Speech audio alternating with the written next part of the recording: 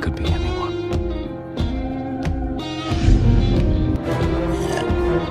Name's Rango.